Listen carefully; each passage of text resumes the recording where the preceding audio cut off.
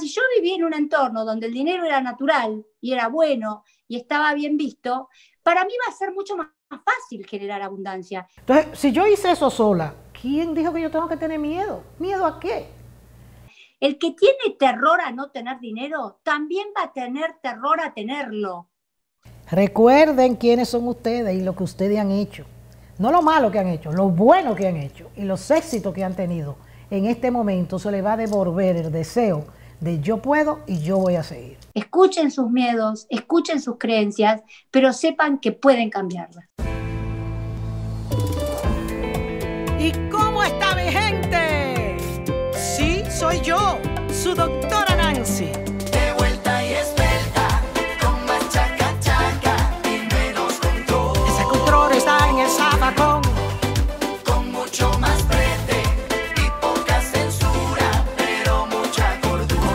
consejito que a usted, que a usted tanto le gusta. A divertirnos y aprender de eso se trata. Para llevar tu vida con más calma. Así que no cambie el control allá en su casa. Y arriba el chaca chaca. Estoy muy contenta como pasa cada vez que voy a hablar con mi amiga Cecilia Banchero. Voy a decir su nombre porque quizás usted va a querer buscarla en internet. Ahí en la, se va a estar poniendo durante todo el tiempo los datos de cómo comunicarse con ella y los datos de cómo usted va a poder tener una cita con ella para que resuelva sus problemas así, de rapidito. ¿Ok?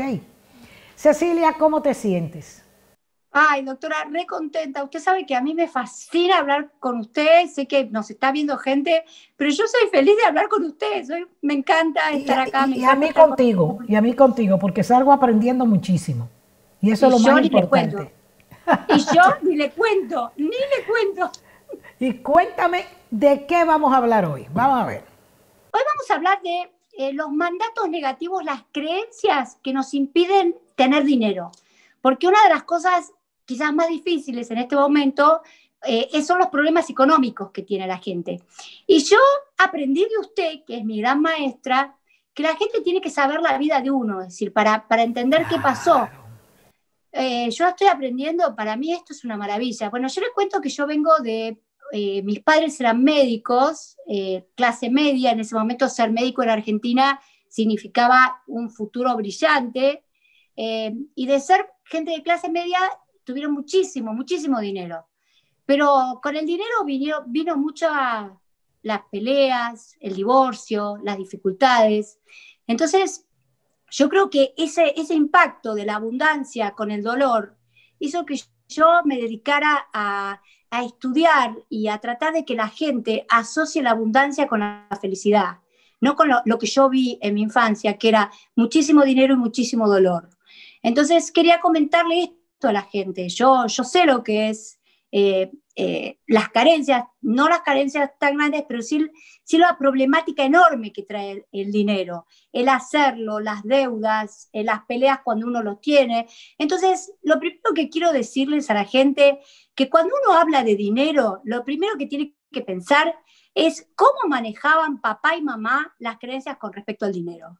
Es decir, lo primero que tenemos que eh, sentarnos a pensar, si tenemos poco dinero, si nos falta, si nos genera mucho miedo el dinero, si eh, nos produce peleas constantes con nuestra pareja, con nuestros hijos, con los socios, el dinero, lo primero que tenemos que hacer es hacernos un estudio. Yo les digo que agarren papel y lápiz y definan dinero. ¿Con qué asocian dinero? Asocian dinero con abundancia, con felicidad o con corrupción, con desgracia, con peleas. Entonces yo les pido a la gente que agarren una lista, un papel y dividan las cosas positivas que tienen con respecto al dinero y las cosas negativas. Ustedes van a tener que trabajar con esa lista que está a la izquierda, que está con las cosas negativas, con las cosas que no le gustan.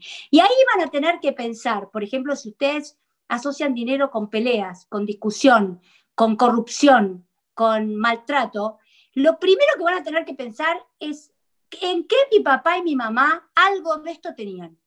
Es decir, lo, acuérdense que los nueve meses que estamos en el útero y los primeros tres años de vida son marcatorios en el inconsciente para saber cómo vamos a actuar en una situación.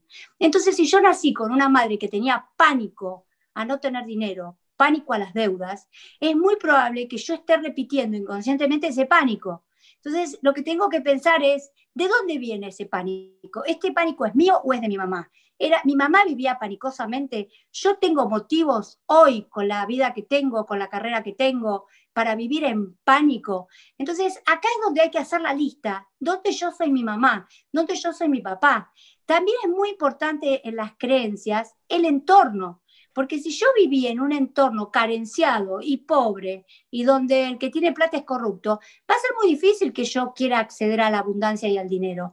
Ahora, si yo viví en un entorno donde el dinero era natural y era bueno y estaba bien visto, para mí va a ser mucho más fácil generar abundancia, porque en mi inconsciente yo tengo este mandato que el dinero es bueno, que el dinero colabora. Entonces, lo primero que tenemos que hacer es eso. Miren, les voy a contar un experimento para que vean por qué es tan importante esto. Masaru Emoto fue uno de los mejores médicos japoneses, se murió, y él descubrió que el pensamiento condiciona y cambia la materia. Él puso seis botellitas de agua que sacó de un, de un río de Japón, él era japonés, médico prestigiosísimo, y tituló cada frasquito le puso un nombre. A uno le puso amor, le puso agua y le puso amor, a otro odio, a otro caridad, a otro los Beatles. Los dejó una semana, iban él y todos sus ayudantes a transmitirle a esa materia, a ese frasquito, amor, a otro puso indiferencia. ¿Y qué vio? Después agarró una, un poquito de agua y lo puso en un microscopio.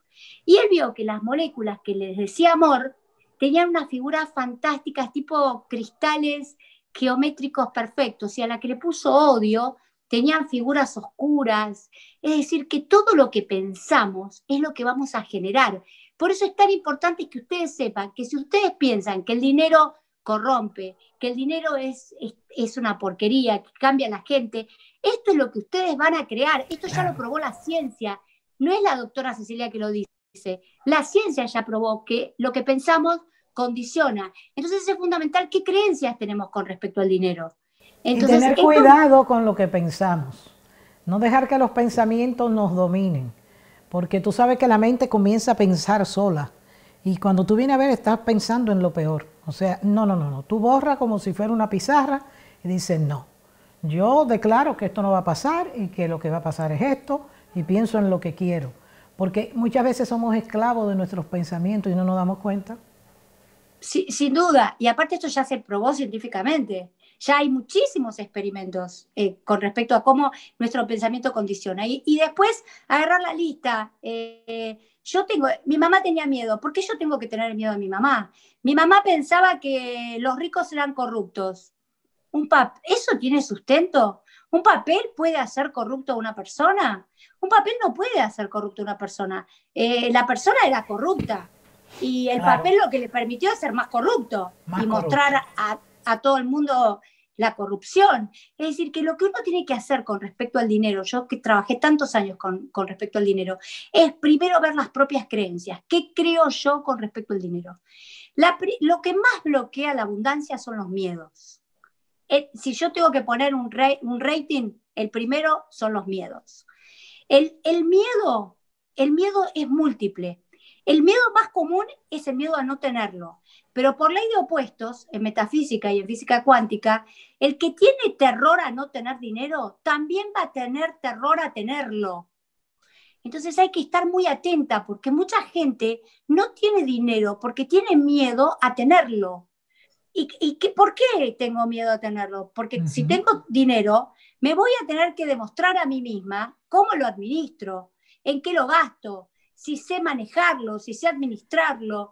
Es decir, que... Y, hay muchas presiones, volvemos a lo mismo. Yo nunca voy a olvidar que cuando yo eh, firmé aquí con, con la gente de Venevisión, que era quien producían para Univision Mi Show, eh, o sea, yo comencé, iba a comenzar por Univision en Telefutura, pero ya de, alguna vez te hago el cuento, cómo caí en Venevisión. La cuestión es que mi hija venía para acá después que yo la convencí, porque ella no quería venir, ella estaba en una universidad ya y tenía todos sus amiguitos y eso. Venía para acá y se decidió estudiar cine, necesitaba un carro grande, una guagua, decimos aquí, una camioneta. En mi país le dicen jipeta, que es como si fuera un jeep, pero muy bonito, porque tenía que cargar cámaras y cosas ahí atrás. Entonces yo le compré una Lexus, te voy a cobrar Lexus ese anuncio, era muy linda. ¿Y qué crees tú? Todo el mundo empezó a opinar que si ese era el primer carro de mi hija y era un carro tan caro, aquí no se compra, aquí se hace un lease y tú pagas una mensualidad y a los dos o tres años si quieres lo cambias por uno nuevo. Y es la mejor opción porque siempre tienes un carro nuevo. Si le pasa algo tienes seguro y ya, ¿tú entiendes? Entonces es la mejor opción porque tú no, andas con un carro viejo después que no sabes si lo quieres vender, si, si te lo quieren comprar y todo ese lío. Pues todo el mundo empezó a opinar.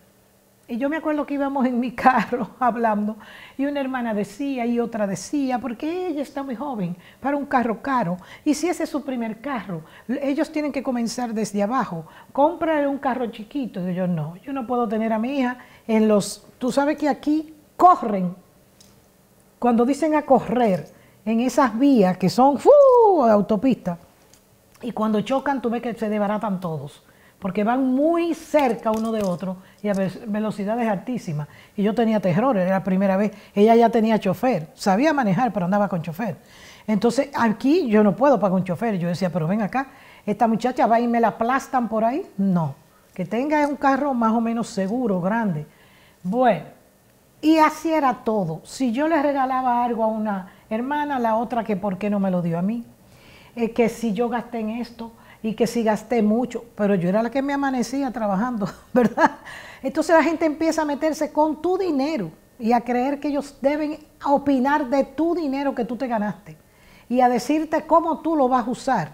Mira, eso es horrible.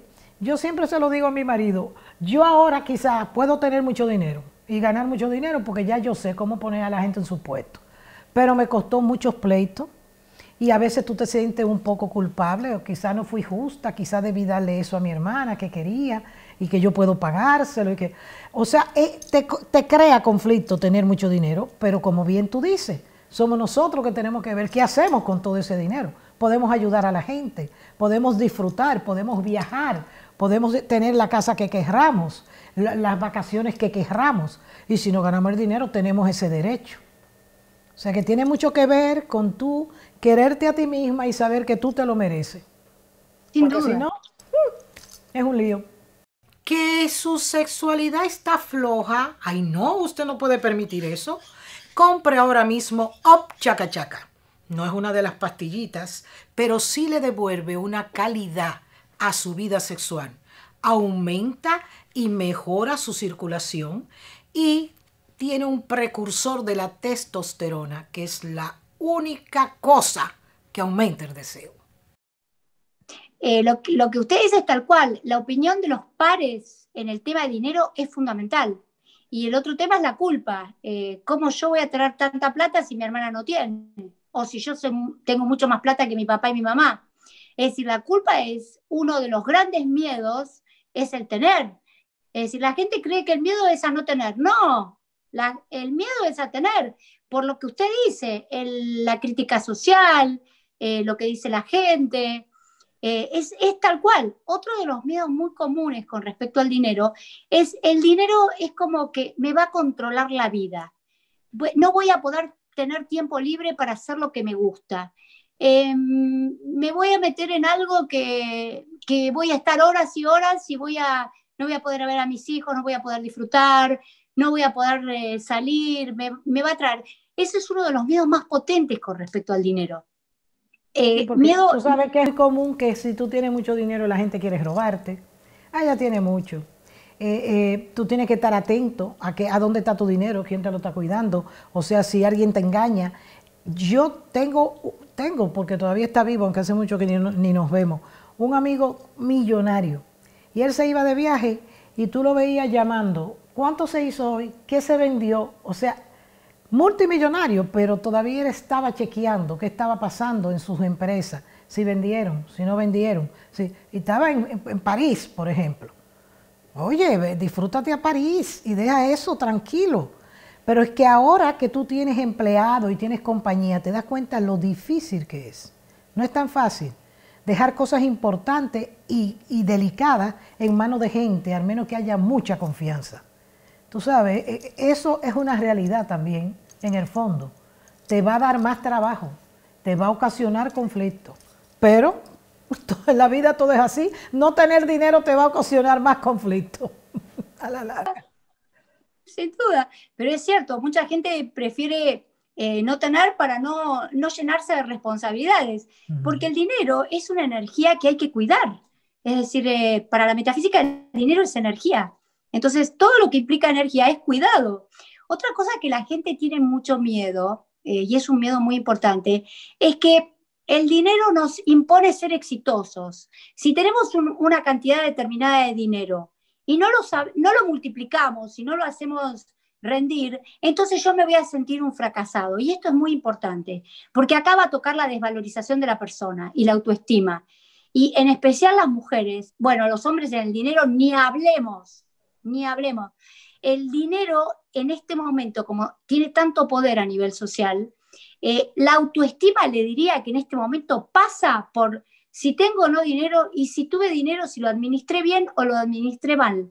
Entonces, mucha gente, frente al pánico de sentirse tomada examen en forma para ellos y para los demás, prefieren tener lo justo, lo limitado, lo que no me exponga a tomarme examen a mí misma.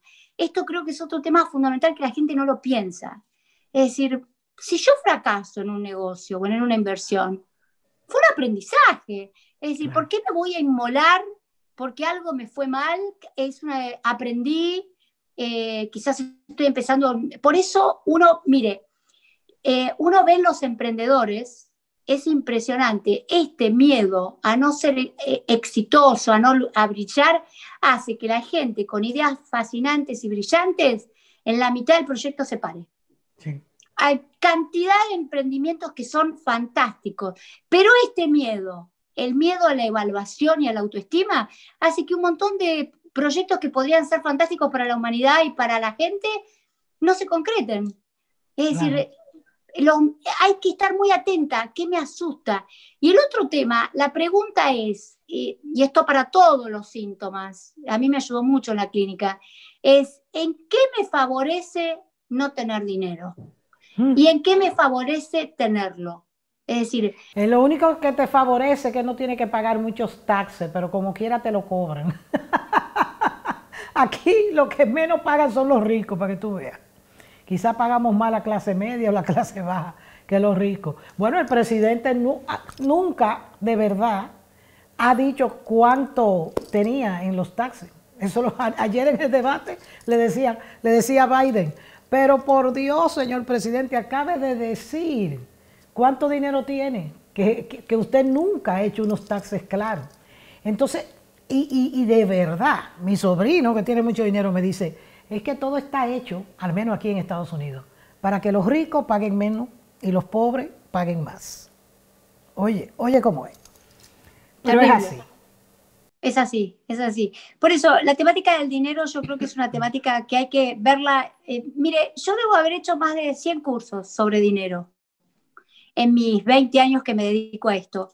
Y cada vez que hago un curso, descubro nuevas cosas que yo tengo que trabajar en mí misma. Por Claro. ejemplo, el, el- el otro, otro tema que es muy importante con respecto al dinero es el miedo al cambio. La gente no quiere cambiar. Eh, y me, me incluyo, eh, la gente estoy yo, eh.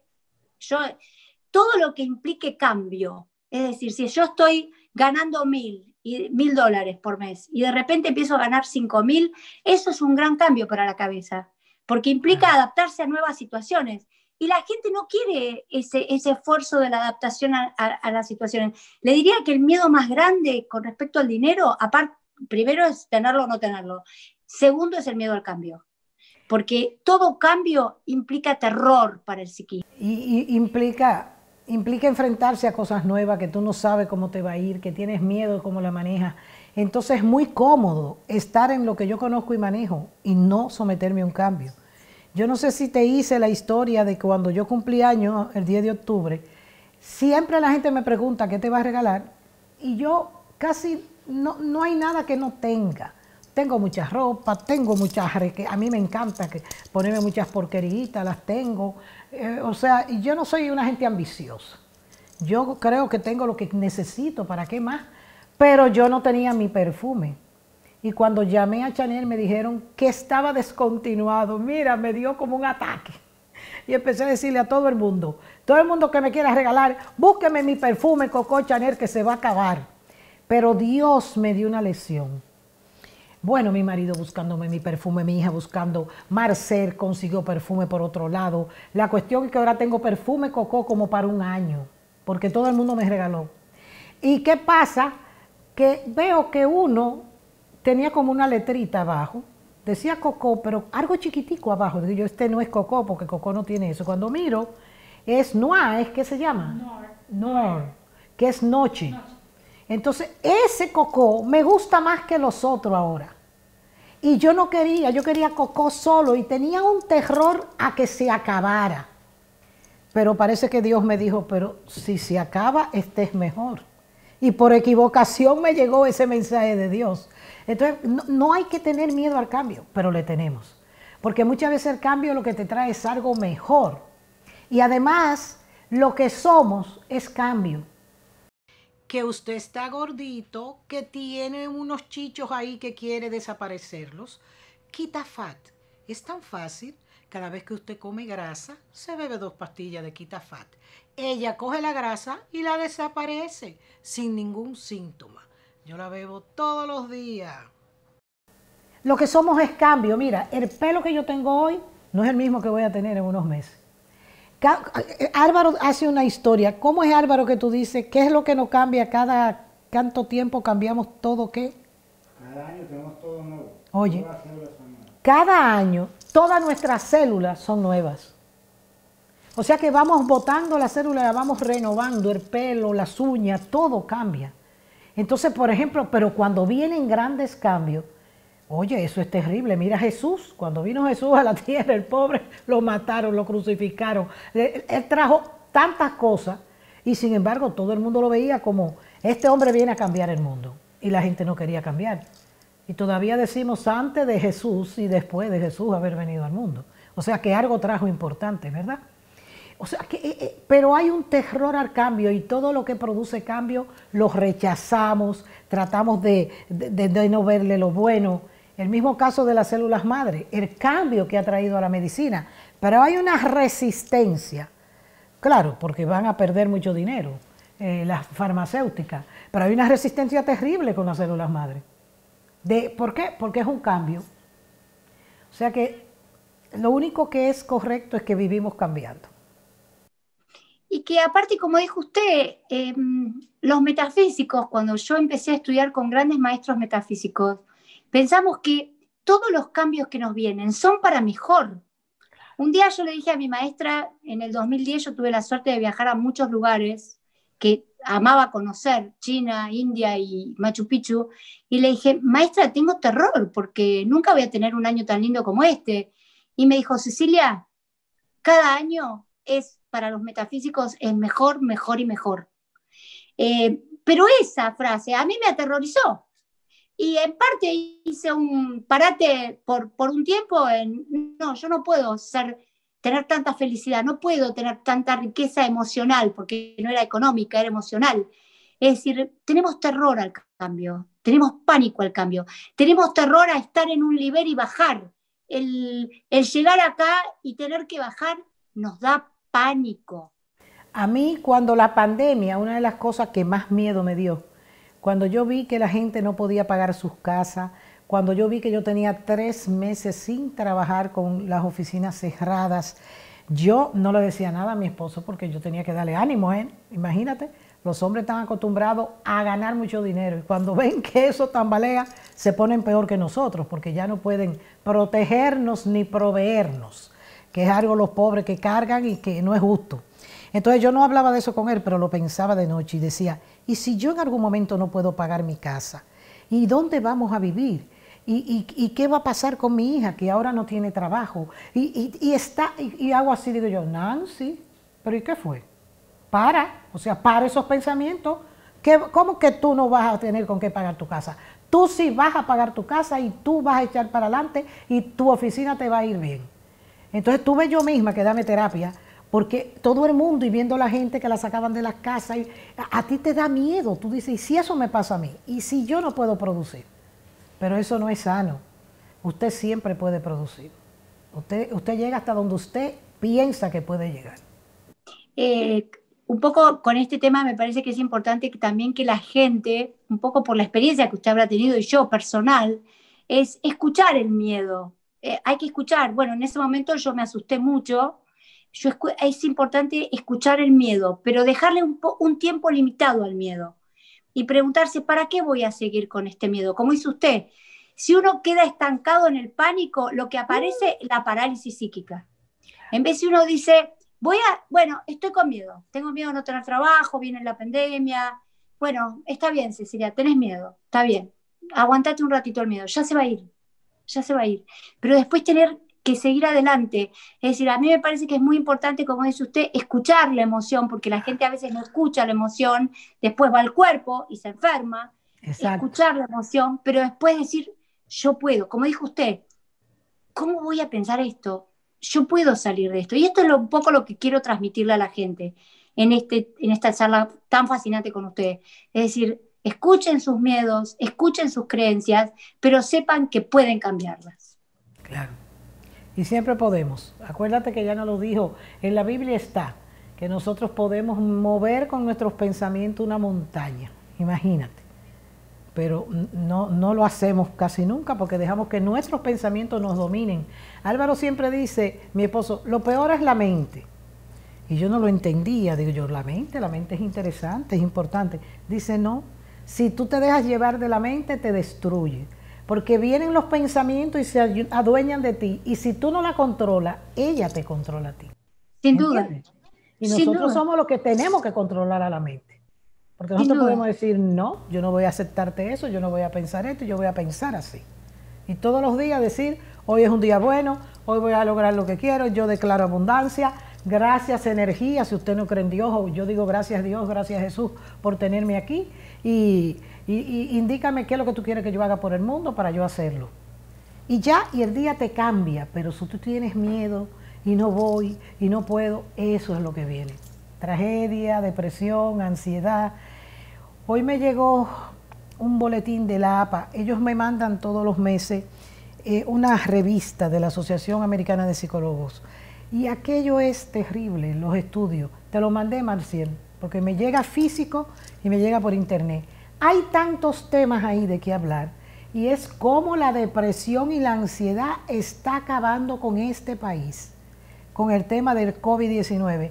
Y además cómo está acabando sobre todo a los jóvenes porque tienen terror, se ven sin futuro, dicen, ¿en qué va a parar esto? Yo no voy a poder estudiar, no me van a poder pagar la universidad. Empiezan todos esos miedos en los muchachos jóvenes. Y muchos están hasta suicidando. O sea que lo que estamos hablando es importante. Muy, muy importante. Eh, aumentó muchísimo la tasa de suicidios a nivel mundial.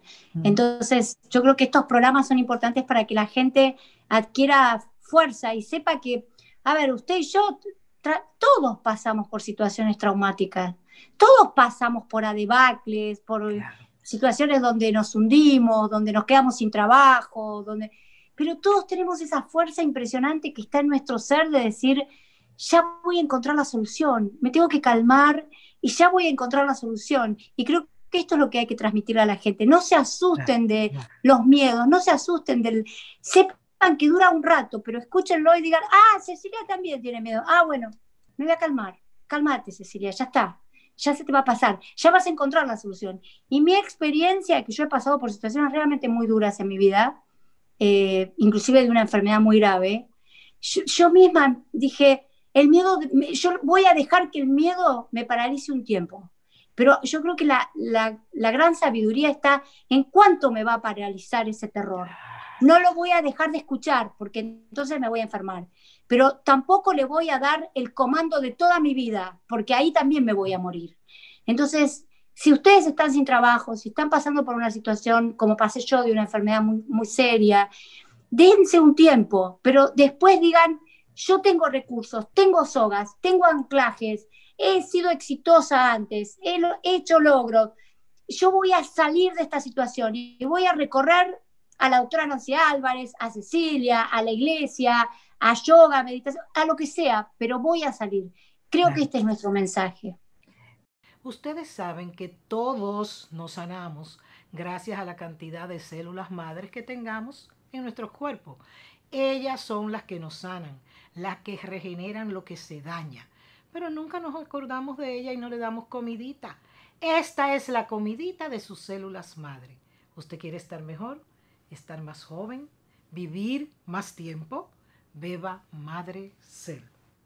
Yo te voy a hacer una historia, porque yo pienso que un ejemplo vale más que mil palabras. Eh, yo estaba pasando por una situación muy difícil y, estaba triste. Y entonces fuimos, íbamos para el cine a ver Mi Rey León, que era con subtítulo en español. A mí me encanta el cine, esa es mi pasión, por eso mi hija estudió cine. Y yo aquí no voy tanto al cine porque es en inglés y no le ponen subtítulos. Oye, qué estupidez, cuando aquí hay 35 millones de latinos.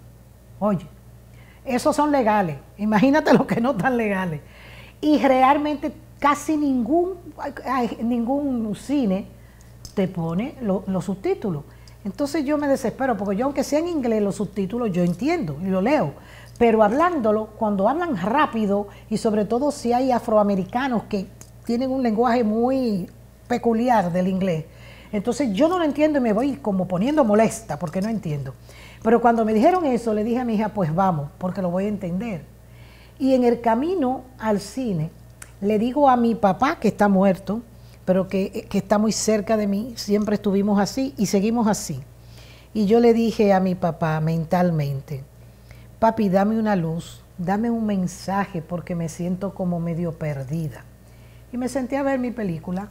Cuando el leoncito vuelve, que eh, lo van a, que ya viene grande, ¿te acuerdas? Porque lo sacaron el Rey León, al cachorro, y que lo, van a llevar a ser el Rey León. Y él tenía miedo porque su papá había sido un gran rey y él creía que él no podía, porque tanto miedo no da la felicidad como no da la tragedia.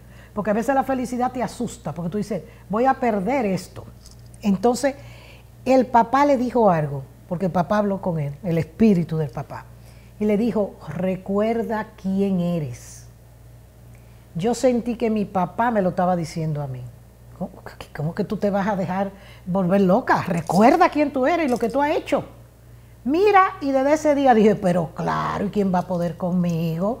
Si yo peleé en un país donde no se hablaba de sexo con la iglesia y con todo el mundo y eduqué sexualmente, si yo sola con una niña la crié en buenos colegios, en buenos sitios y la llevé a que estudiara, cine donde estudió el hijo de Steven Spielberg y de Juan Luis Guerra. Entonces, si yo hice eso sola, ¿quién dijo que yo tengo que tener miedo? ¿Miedo a qué? Esa, eso, ese mensaje me lo mandó mi papá. Entonces, cuando uno se siente perdido, uno tiene que recurrir a la gente que ama, que ya se fue de esta dimensión, para que te dé luz, o recurrir a Dios, o a, Jesús, a en quien tú creas, o al universo, a la energía. Porque a veces nos sentimos perdidos y solamente una palabra te pone en carril otra vez. Recuerden quiénes son ustedes y lo que ustedes han hecho. No lo malo que han hecho, lo bueno que han hecho y los éxitos que han tenido. En este momento se les va a devolver el deseo de yo puedo y yo voy a seguir. No tengo nada que agregar. Está perfecto. pues bueno, yo creo que eso es más o menos lo que tú querías decir, resumido. ¿Ok? No tengamos miedo ni a las cosas malas ni a las buenas, porque a veces cuando te viene algo muy bueno te entra mucha ansiedad. Yo recuerdo cuando iba a comenzar a trabajar en televisión a nivel de, casi todo el mundo, yo, yo tenía en el fondo no miedo, porque yo cuando veo una lucecita o algo que se prende, lo que me hago es que me pongo tranquila, porque estoy haciendo eso de los 15. Pero yo decía, ¿podré llegar a los latinos? ¿Me van a entender? ¿Podré lograr educarlos como hice en mi país? Y eso me daba como aprensión o sea, porque era como un reto grande que tenía. O sea que cuando tú te pones un reto grande y lo logras, también te da miedo. El éxito da miedo. El éxito. Y también perder y, deprimirse y no lograr las cosas da miedo. Hay que vivir con el miedo y como tú dices, escucharlo. Escucharlo y después decir, no, ya está bien, ok, bye bye, voy por aquí. Ya está. Eh, sí, yo creo que es la base, sí. Es la base de todo. Es la base. Bueno, Gracias Cecilia, siempre es tan lindo hablar contigo. Y acuérdense que Cecilia está disponible para poderlos ayudar. Hay una necesidad enorme de, en estos momentos buscar ayuda. Aquí esa ayuda es muy cara, a veces no aparece en español, es difícil. Y, es- y ella tiene unas técnicas tan modernas, tan rápidas y tan económicas. Cuatro sesiones, seis sesiones, imagínense. Cuando uno tiene que pasarse años en terapia a veces para lograr algo, ella lo puede lograr así. Y yo soy una que me voy a poner en terapia con ella desde que acabe de grabar todas estas cosas. Sí, señora. Hay muchas cositas que quiero que tú me la trabajes, que me vuelva para atrás y que hagamos todo eso. Claro, yo toda teoría nueva me gusta practicarla. Cuando empezó el- las vidas pasadas, tenía como, ¿y qué es esto? Y empecé a leer, me cayó Roger Werger, me encontré con él, y entonces ahí aprendí lo que era. Y cuando fui, que me costó mil dólares, en esa época yo no ganaba mucho dinero, yo decía, concho, mil dólares es casi mi sueldo mensual. Y yo pagar mil dólares me lo prestaron. Y cuando llegué donde él, era Semana Santa y no fue tanta gente como se esperaba. Y pudimos, tuvimos la dicha de que él trabajara con cada uno de nosotros, no sus ayudantes. Y yo me acuerdo que yo le, cuando yo entro, esto es interesante y te va a gustar. Cuando yo entro, él tenía como un altar con una rumba de cositas raras. Él trabajaba mucho con símbolos, él estudió también en la escuela de Carl Jung, después que se hizo psicólogo en, Ox- en Oxford, porque era, eh, de, Inglaterra, vivía en Londres. La cosa es que yo miro todas estas cosas raras y le digo, pero venga acá, doctor. ¿Usted cree? Yo con inglés, pero él me entendía, porque él hablaba al estilo inglés. A mí sí me hablan con el, con el inglés inglés, yo entiendo. Cuando me hablan con el americano, que me, turbo, porque yo siempre estudié, diciendo liter, no, aquí te dicen liter. Water, aquí a ti te dicen water. Entonces tú andas perdida. Y entonces yo hablaba con él y le dije, yo, yo pagué mucho dinero que yo no tenía para venir a hablar con usted. Me costó muchas noches de acostarme tarde porque aquí no hay tiempo para leer, leyendo su libro que era bien complicado y difícil. Y usted va a venir a hablarme a mí de brujería, porque yo estoy viendo muchas cosas que parecen brujería. Y él se explotó de la risa. Y se rió y me dijo, no, para ti es brujería porque tú no crees en vidas pasadas. Yo sí. Pero te voy a decir una cosa, tú no tienes que creer en vidas pasadas para cambiar y para que esta terapia te ayude. Esta terapia simple y llanamente te vende algo que puede ser verdad o no, pero que te cura. Y es que tú vas a cambiar algo que te pasó en tu pasado, pero que te está pasando ahora. Sin duda. Entonces, claro, es más fácil hablar de una mujer que vivió esto hace 10 años, 20 años, 1000 años, y no hablar de mí ahora. Y ya, ahí me convenció. Me convenció, yo dije, pero es verdad, yo lo que quiero aprender a cambiar a gente y ayudarla. Él dice, no tienen que creer en mis creencias. Yo sí creo en la vida pasada, yo sí creo en los espíritus, yo sí creo en todo eso. Pero si a ti no te gusta, no importa, como quieras vas a cambiar. Entonces a veces eso es lo que tenemos que hacer, lanzarnos aunque nos dé miedo. Gracias, Exacto. mi amor. Dios te No, bendiga. gracias a usted, es No un aprendizaje. Ahí, ahí tienen, ahí tienen cómo comunicarse con ella y ya tú sabes, cuando acabe de grabar todo estos programas, voy para ti. No te va a librar de mí. Te espero acá en Argentina. Ay, hazlo. Y si te da miedo, hazlo con miedo. Me pone aquí Marcel. Qué lindo. Esa es la idea. Hazlo. Y si te da miedo, hazlo con miedo. Para adelante. Dios bendiga a Cecilia. Nos vemos pronto, Cecilia. Y ya tú sabes, vienes con un tema de las mujeres y unas cosas ahí muy buenas. Te esperamos en tu, en tu día a día con nosotros, que siempre vas a estar con nosotros toda la semana. Cecilia ba Banchero, así mismo, ya me estoy aprendiendo el apellido. Cecilia Banchero. Búsquenla, ahí está cómo encontrarla y sáquenle el jugo, que hay que sacarle el jugo a la gente como ella, así exprimirlo como una chinita, para que ustedes se queden con todos los conocimientos de él. Hasta la próxima.